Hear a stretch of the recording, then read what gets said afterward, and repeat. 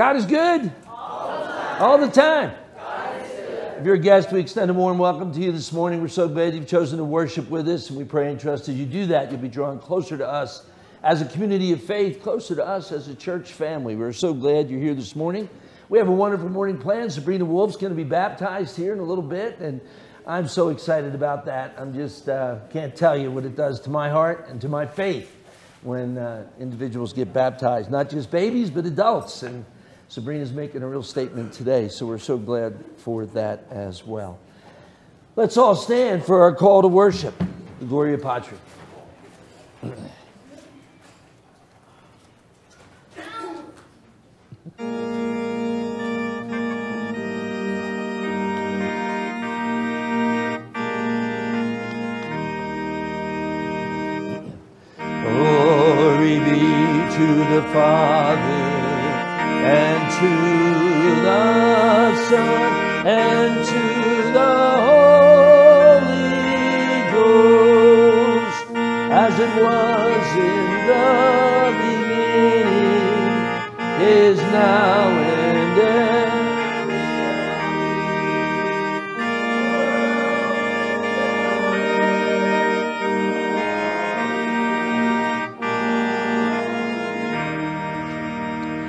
grace of our Lord Jesus Christ, love of our Heavenly Father, and the communion of the Holy Spirit be with you all. We gather this morning in the name of the Father, and of the Son, and of the Holy Spirit. Almighty God, to whom all hearts are open, all desires known, and from whom no secrets are hid, cleanse the thoughts of our hearts by the inspiration of your Holy Spirit, that we may perfectly love you and worthily magnify your holy name through Jesus Christ our Lord. If we say we have no sin, we deceive ourselves and the truth is not in us. But if we confess our sins, God, who is faithful and just, will forgive our sins and cleanse us from all unrighteousness. Let us take a brief moment and ask the Holy Spirit to show us where we fall short of God's standard of holiness, confess those sins, and receive the forgiveness that we have in the shed blood of our Lord and Savior, Jesus Christ.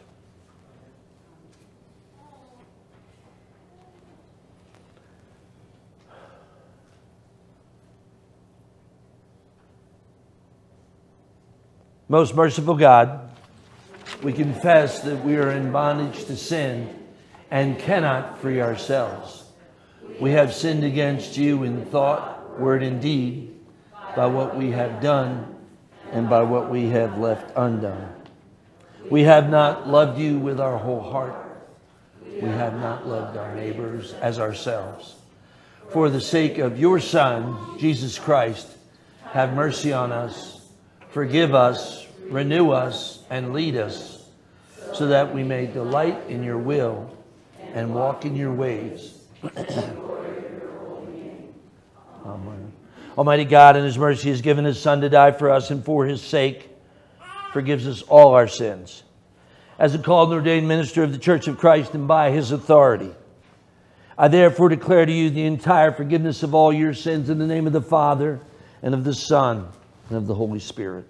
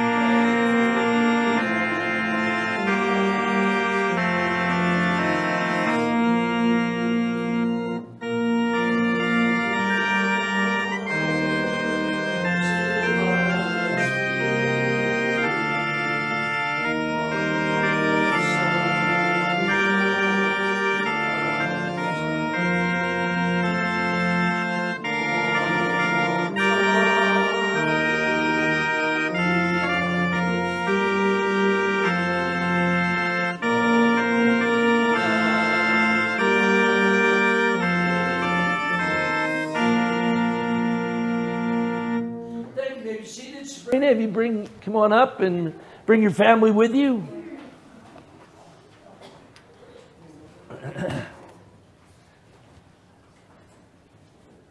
Abby's coming as well. Now, Jordy, is Jordy your kiddo? No, it's my brother's. It's your brother's kid. Uh-huh. Okay, I'm sorry, Jordy. I should have known that. All right. And this is Mason? Uh-huh. Is that right? Hi, Mason. Good to see you, man. Thanks for coming this morning. And Abby, I just met you. All right. Daryl, come on up here. We're going to need you, Sabrina, near here so we can get the uh, Okay. uh, water for it here. We've got this here. Daryl, I'm just going to ask you to, uh, just a question. All you say is I do. All right. Daryl, her dad is her sponsor, and we're so glad to see Daryl back. Uh, I, yeah. I talked to Daryl a couple times during COVID, and uh, they were taking so many precautions where he worked that he could not afford to lose any time at work, and, but he wanted to be here. And so we're so glad, Daryl, you came today for the baptism of your daughter. So, yeah, good, man. I put mine too. I know, Jordy. Daryl, in Christian love, you presented Sabrina Ann Wolf for holy baptism. You should therefore carefully, uh, faithfully care for her and help her in every way as God gives you opportunity, that she may bear witness to the faith we profess, and that living in the covenant of her baptism and in communion with the church, she may lead a godly life until the day of Jesus Christ. Do you promise to fulfill these obligations? I do. Let us pray. Holy God, mighty Lord, gracious Father, we give you thanks in the beginning your Spirit moved over the waters and you created heaven and earth. By the gift of water, you nourish and sustain us in all things. By the waters of the flood, you condemn the wicked and save those who had, you had chosen, Noah and his family. You led Israel by the pillar of cloud and fire through the sea, out of slavery and into the freedom of the promised land. In the water of the Jordan, your son was baptized by John and anointed with the Spirit. By the baptism of his own death and resurrection, your beloved Son has set us free from the bondage to sin and death and has opened the way to the joy and freedom of everlasting life. He made water a sign of the kingdom and of cleansing and rebirth. In obedience to his command, we make disciples of all nations, baptizing them in the name of the Father and of the Son and of the Holy Spirit.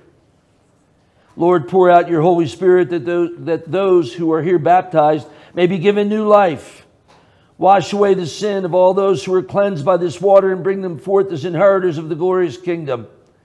To you be given praise and honor and worship through your Son, Jesus Christ our Lord, and the unity of the Holy Spirit, now and forever. Amen. Sabrina, I ask you to profess your faith in Christ Jesus, reject sin, and confess the faith of the church, the faith in which we baptized. Do you renounce all the forces of evil, the devil, and all his empty promises? I do. Let's all stand. Not just Sabrina, but congregation as well, and family. Do you believe in God the Father? I believe in God the Father Almighty, creator of heaven and earth. Do you believe in Jesus Christ, the Son of God? I believe in Jesus Christ.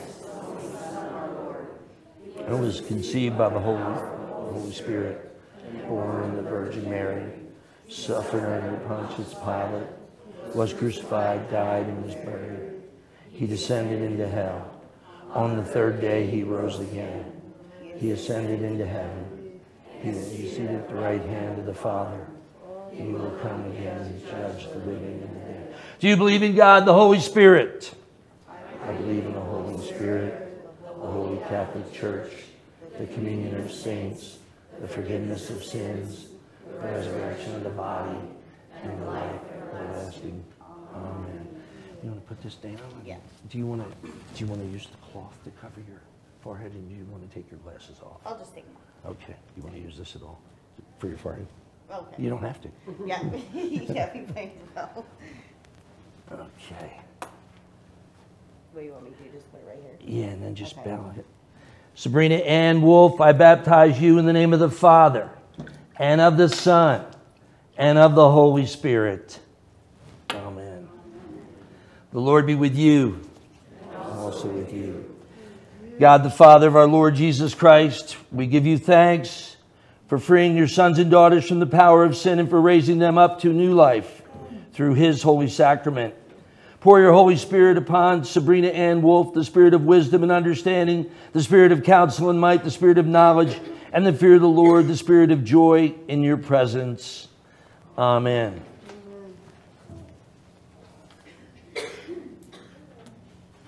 Sabrina Ann Wolf. You've been sealed by the Holy Spirit and marked with the sign of the cross forever. And we're going to light this candle as well.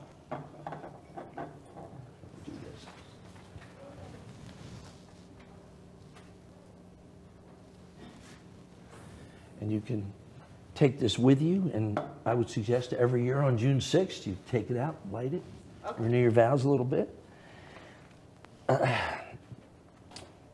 Let your light uh, so shine before others that they may see your good works and glorify your Father in heaven. O God, the giver of life, look with kindness upon Sabrina. Let her ever rejoice in the gift you've given her. Make her a teacher and example of righteousness. Strengthen her in her own baptism so she may share eternally the salvation you've given her through Jesus Christ our Lord. Amen. Through baptism, God has made Sabrina a member of the priesthood we all share in Christ Jesus, that we may proclaim the praise of God and bear his creative and redeeming word to all the world. Sabrina, we welcome you into the Lord's family. We receive you as a fellow member of the body of Christ, children of the same Heavenly Father, and, and work with us in the kingdom of God. Let's turn around. Let's give it up for Sabrina Ann.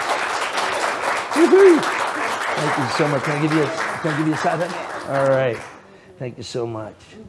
This is yours, Okay. and you can take this with you. This one.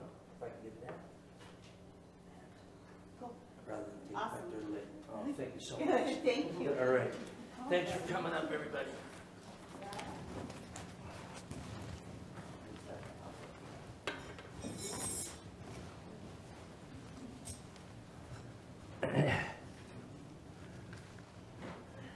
As I said, it's just a great day, and we're so thrilled that Sabrina decided to be baptized today. And uh, the gospel this morning is about family for sure.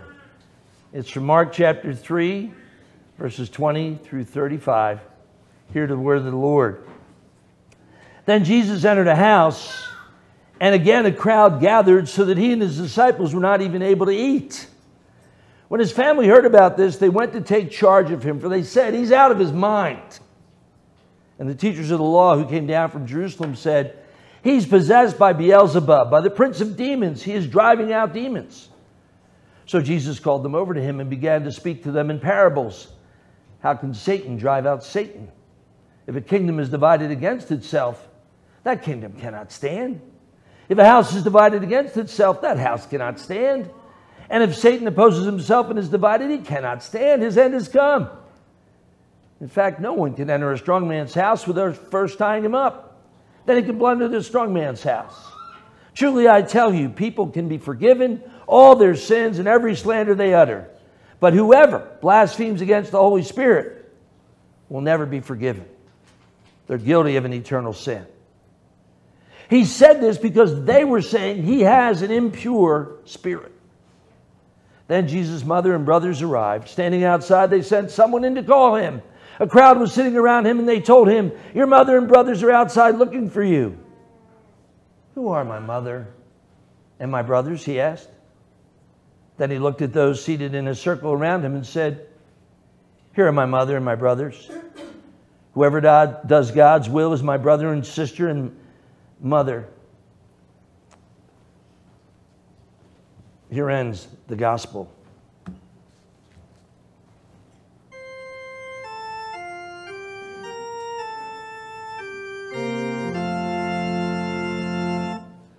Praise God from whom all blessings flow. Praise Him, all creatures.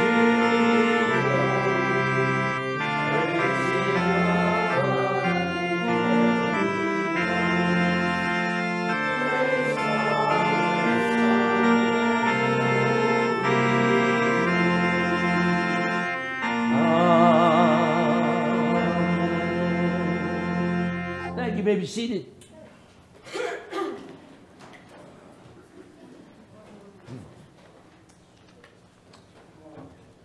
Recently, our family has started watching reruns of the show Monk. We enjoy it tremendously as we sing the theme song together. It's a jungle out there by Randy Newman. It's become a fun close of the evening bonding time for us. You may watch it a time or two. It ran for nine years on the USA Network. He's a private detective who suffers from obsessive compulsive disorder. If you've known or know anyone with OCD in an extreme form like Monk has, they tend to be a bit, eccentric.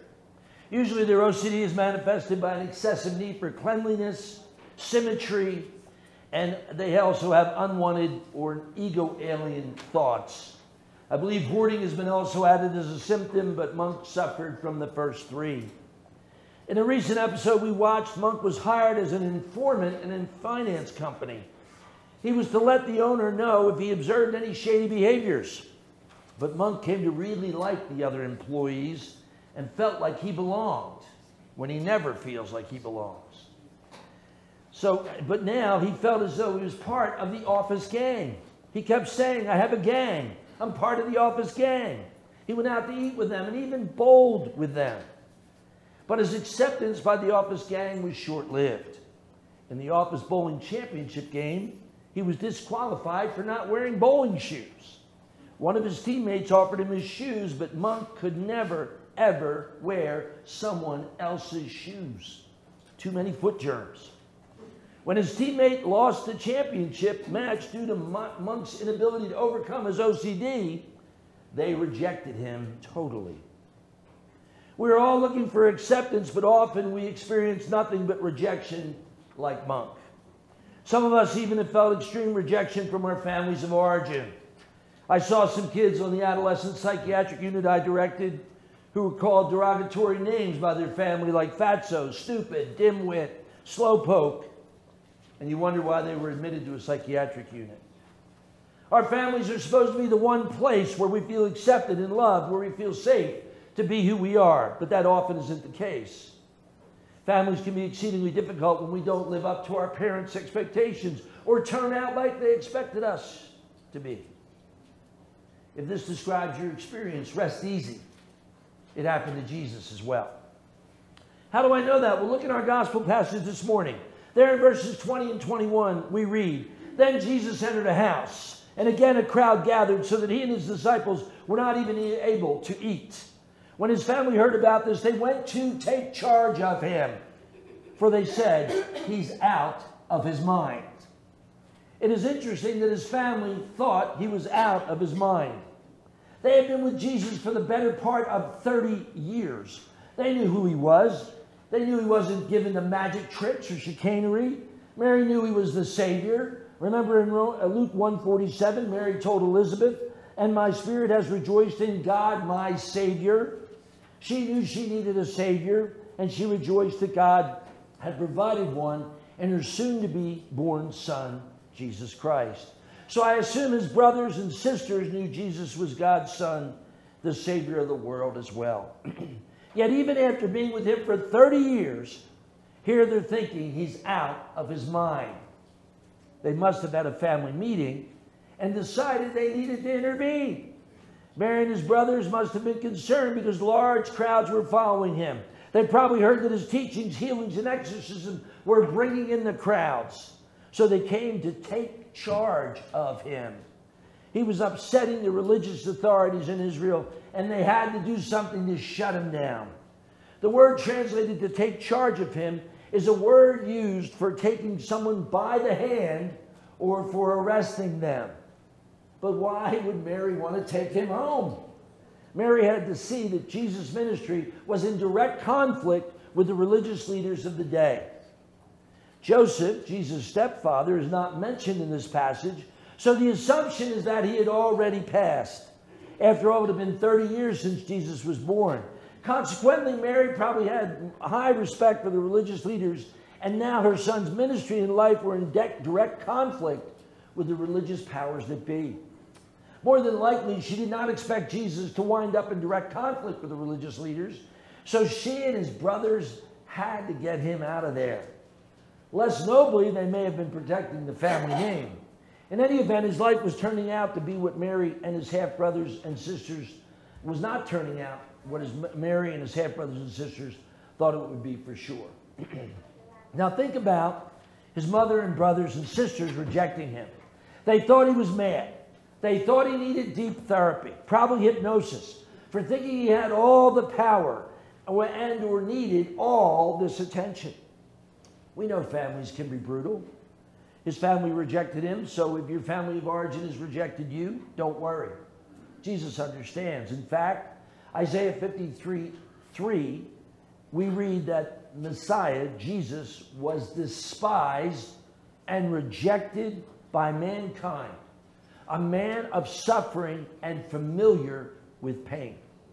Like one from whom people hide their faces, he was despised and we held him in low esteem.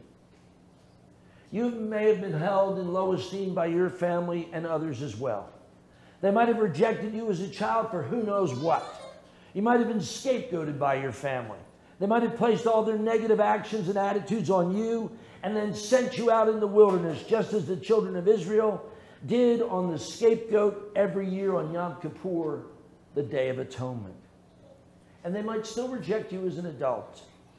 Remember, Jesus was 30 years old when this went down.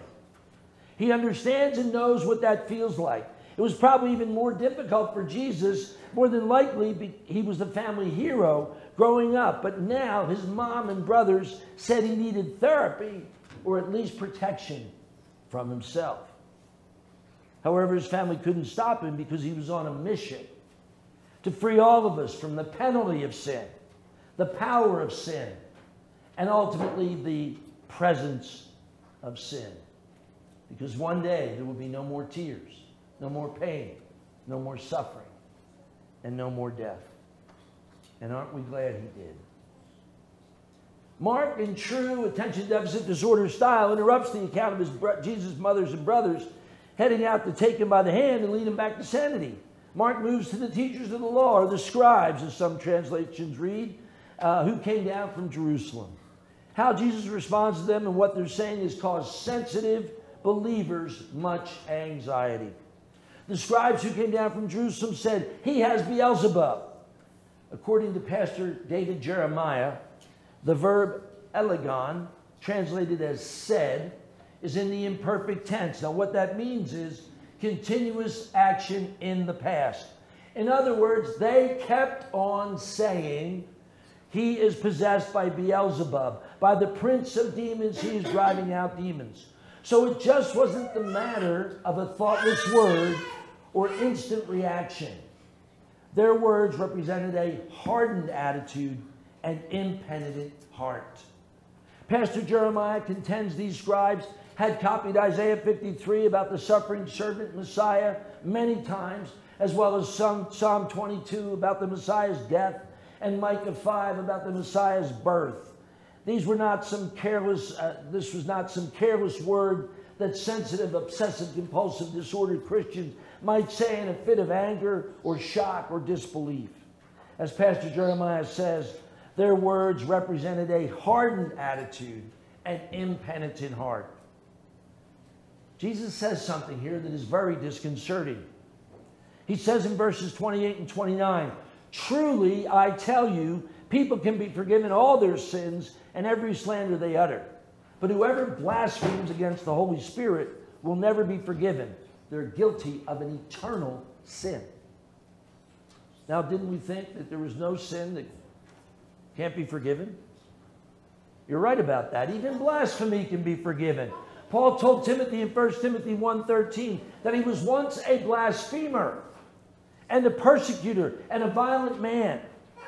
But he was shown mercy because he acted in ignorance and unbelief. Paul spoke against God in his church. Remember, he held Stephen's cloak as they stoned Stephen to death. He persecuted the church. He said awful things about God, the God of the Christians.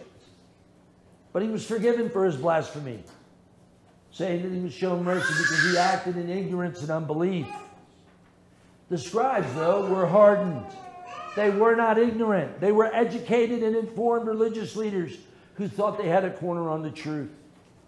Methodist preacher Donald English, in his commentary, The Message of Mark, explains how blasphemy against the Holy Spirit cannot be forgiven. There he says about the unbelief of the scribes least of all have the religious leaders unthinkingly, ignorantly, or unknowingly used hapless words constituting blasphemy or bad language. Their sin is that in the presence of God's grace in action, they have not only rejected it, but ascribed it to the devil. This is their fixed position. No wonder they will not find forgiveness. The sin against the Holy Spirit is portrayed as resolute attribution of God's gracious work to Satan.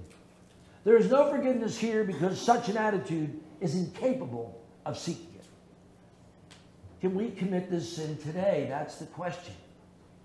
And very sensitive Christians really worry about this because they might say in a fit of anger something against God and they fear that they've committed the unpardonable sin. Technically, no, we cannot commit this sin today. Mark gives us this explanation in verses 28 through 30 that blasphemies can be forgiven, but not blasphemy against the Holy Spirit. Then he explains in verse 30 that blasphemy against the Holy Spirit was saying Jesus had an unclean, impure spirit then and there on that scene. That can't be said of Jesus now because he's not here performing those miracles. Consequently, no one can attribute his miracles to Satan. However, as the Lutheran Study Bible says in its notes, those who refuse to recognize Jesus as God's Son and acknowledge his works as manifestation of the Holy Spirit remain under the dominion of Satan. True believers who have been baptized have not only Christ, but also have the Holy Spirit. They've been adopted into God's family, as Sabrina was this morning. Remember, these scribes were not believers. They were Jews who thought they went to heaven because they were children of Abraham and kept the law. Remember that Paul said in 1 Corinthians 2 the natural man, the man without the Spirit, the unbeliever, cannot understand the things of the Spirit because they are spiritually discerned. So if you're plagued by intrusive thoughts that you've committed the unpardonable sin, and you've worried and you're worried about that, you haven't committed the unpardonable sin because those who did were hardened. You are not because it bothers you. As Luther told us, remember your baptism.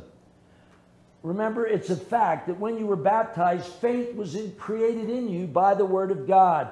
You became a child of God, a new creation. You were adopted into God's family. You were given the Holy Spirit. And you are now to walk in newness of life by the power of the Holy Spirit.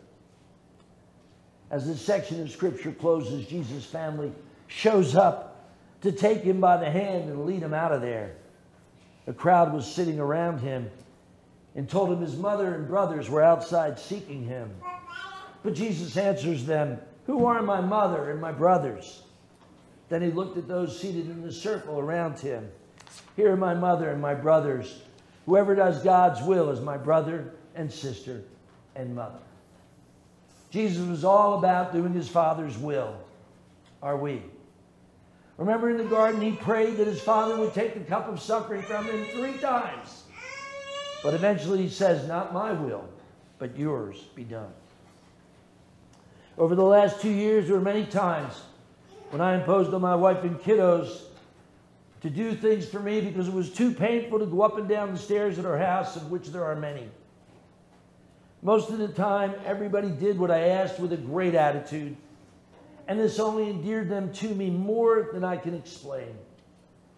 I want to thank Minuet Lexi Claire, Gracie Bell, Mackie Bruce, for their patience, grace, mercy, and helpfulness during that time when I wasn't the easiest.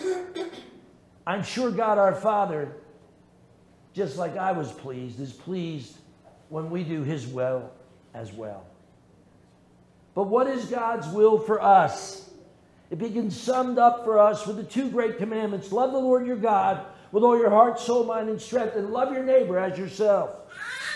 As the Lutheran Study Bible tells us again in its notes, here Jesus is saying, loyalty to God takes precedence over loyalty to blood relations.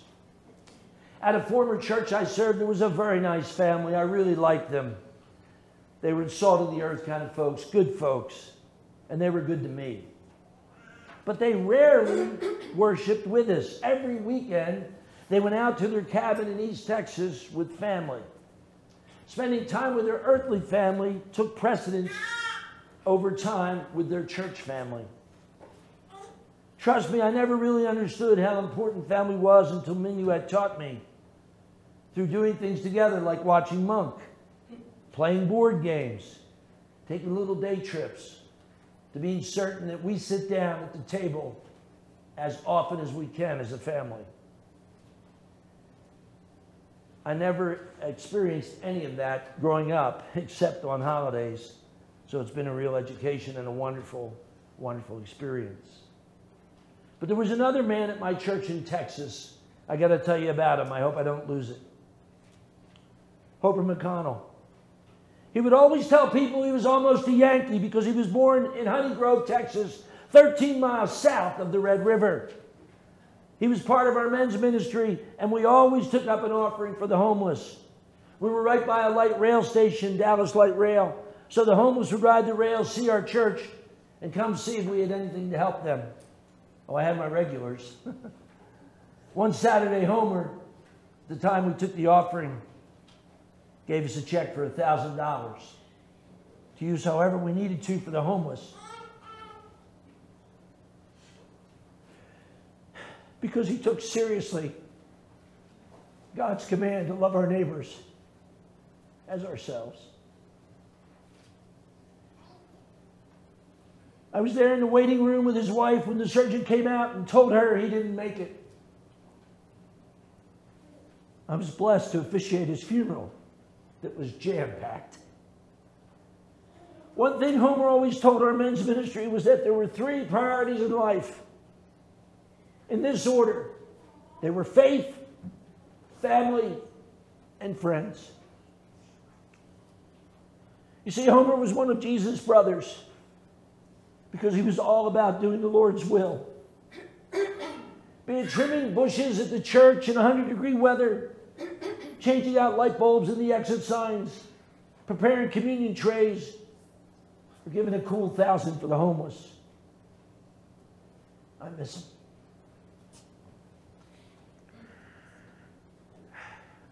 I realized last night I was there at his death. I did his funeral, but I never grieved. So I'm sorry, but I share that with you now. A simple man from Honey Grove, Texas, where Davy Crockett stopped with his men on the way to the Alamo to eat the honey there. Homer had a profound impact on my life. But he would tell you he was a sinner as well. So, as believers, let's admit we don't always do God's will, but we want to. Remember, we're saved by grace through faith in Christ alone, and we walk by faith as well. Let's come to the table this morning celebrating the forgiveness of our sins that Jesus paid for on Calvary, thanking Him that we are accepted for eternity in God's family, and that nothing, neither height nor depth, neither angel nor demon, neither things present nor things to come, nor anything else in all creation can separate us from the love of God that is in Christ Jesus. Let's ask God to help us to do His will by the power of the Holy Spirit so that when we see Him, He not only calls us brother or sister, but also says to us, as I believe He said to Homer, Well done, my good and faithful servant. And all God's people said, Amen.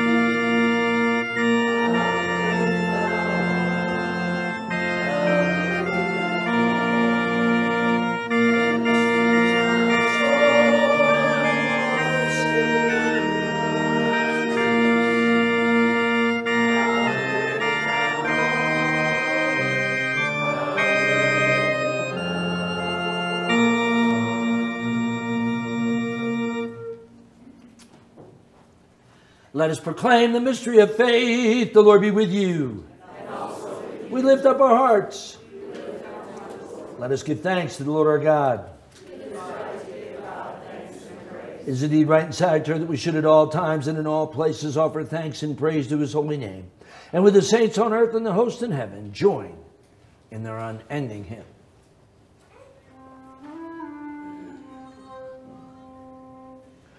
Holy, holy, holy, my heart adores you. My heart is glad to say the words, You are holy God. Brothers and sisters in Christ, as we continue to prepare our hearts and minds for the Lord's Supper, join me in consecrating this holy meal for the last time we gathered, we remembered when.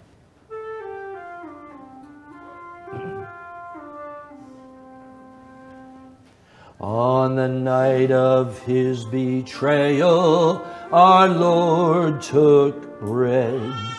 He broke it as he blessed it, and then he said, My body given for you is what this means.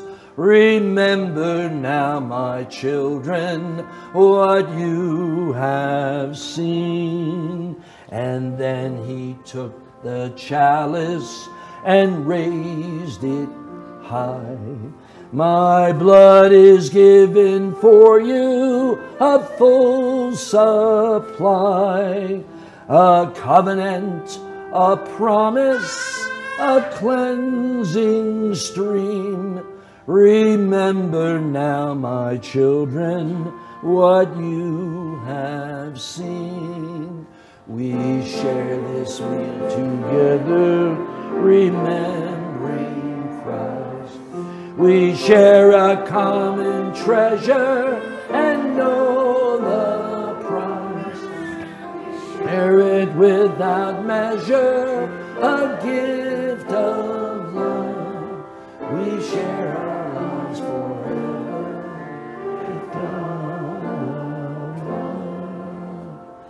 Let us join together and pray the prayer that the Lord Jesus Christ taught us, the Lord's Prayer. Our Father, who art in heaven, hallowed be thy name. Thy kingdom come, thy will be done, on earth as it is in heaven. Give us this day our daily bread, and forgive us our trespasses, as we forgive those who trespass against us. And lead us not into temptation, deliver us from evil. For thine is the kingdom, and the power, and the glory, forever and ever. Amen. Oh, All are welcome at the table, as it is the Lord's table. Come now and receive the body and blood of the Lord Jesus Christ for the forgiveness of your sins. Come now, the Father's arms are open wide. If you're if you're here for the first time and haven't taken communion with us before, the bread and the juice are contained in this one unit. Take it back with you to your seat, and we will take both together. Body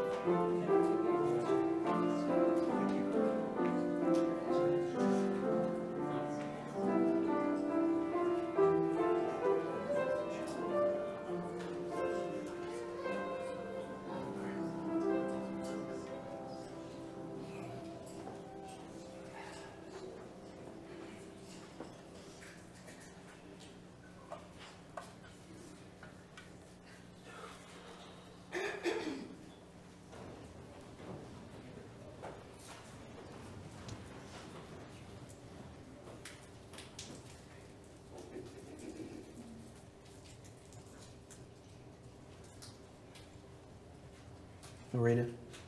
Narita, would you like communion?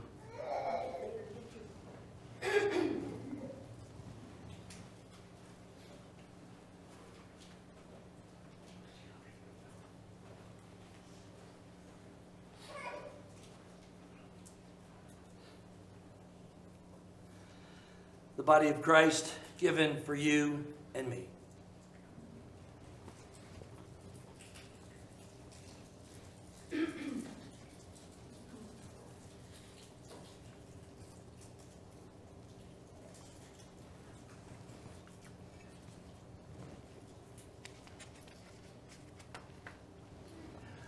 Blood of Christ shed for the remission of our sins.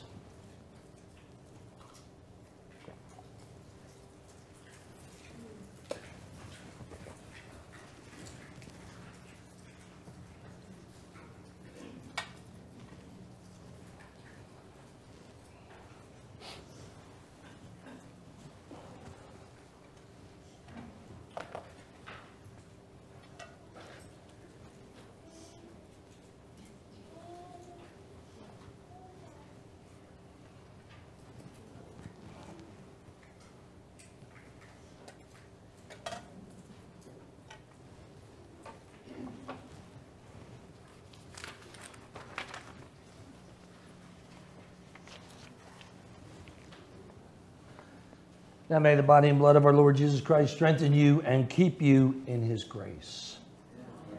The Lord bless you and keep you. The Lord make his face shine upon you and be gracious unto you. The Lord lift up his countenance upon you and give you peace. In the name of the Father, and the Son, the Holy Spirit. Amen.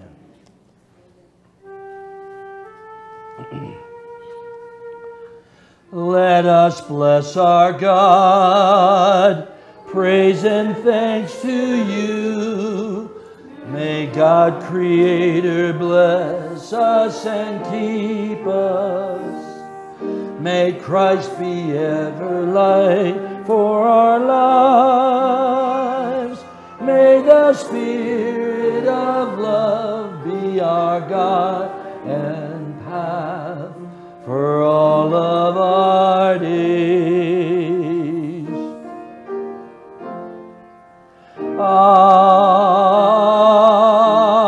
Amen. Thanks for worshiping with us this morning. What a wonderful day with Sabrina being baptized. If you and your family want to be stand back at the door with me and meet and greet, I'd love you to do that. So, hey, all right, okay, Jordy. it's good to see you again. If you have any problems, issues, concerns, whatever, call Bobby here at the office, call me at home or on my cell. Never a burden, always a blessing to spend time with you on the phone or in person. Um, I love what I do, and I love being your pastor. And I know that over time, I will have the same bonds with you that I had with Homer if I don't already have those bonds uh, right now. So go in peace and serve the Lord. Christ is with you. Thanks be to God. Mackie, let's go, buddy.